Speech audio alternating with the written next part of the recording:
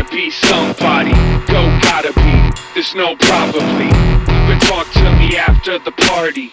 It's just monotony, human Don't commodity. you just, don't you just love that profile page where we use our voice and take the stage just to get prepped for future endeavors when you only special as physical measurements?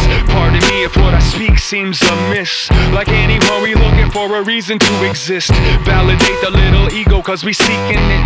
But we only get attention from the neediest. Sex symbolic, took it literal. But the visual change with the wind that blows. And it shows cause we don't tiptoe. We got the tendencies to disclose too much info. Everybody, everybody wanna be famous, yeah. So we ask Santa Claus for fake tits, huh? Let's take steps to embrace the objectification and fix your face next. Yeah, you're attractive. Anyone's attractive. What? That's not magic. In fact, when I last checked, you got casted as an extra. Fantastic. But why don't you tone it down to about half as dramatic?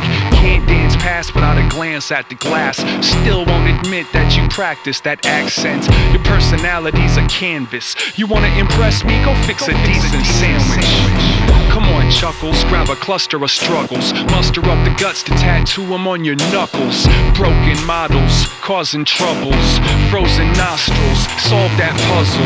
How many photo albums full of self indulgent cell phone self portraits can be held on your favorite internet social network rebellion? Got me wondering what the fuck you selling. Everybody, everybody wanna be somebody.